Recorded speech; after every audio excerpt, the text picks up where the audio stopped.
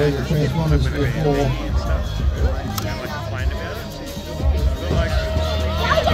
Great start out of the middle of the pack. Going with Harrison When you hit Regan it at there and pace, it is a Darcy bit. Galmes putting it into the back corner. Having the ability Watch them up the second straight now as they come through. It's going to be Regan. Hatfield Push it in there down. for the two spot at the moment. We'll pick up uh, Galmes. Uh, hold on to that three. See how it unfolds from there. Hatfield staying on the heat now as he comes up that third straight. Looking to make moves and grooves. They got the top four to get through. The 17 coming through now. That's going to be Levi Annie. Uh, Clement, McDonald. They've got some work to do as they come up that back straight. And still Going to get him from there.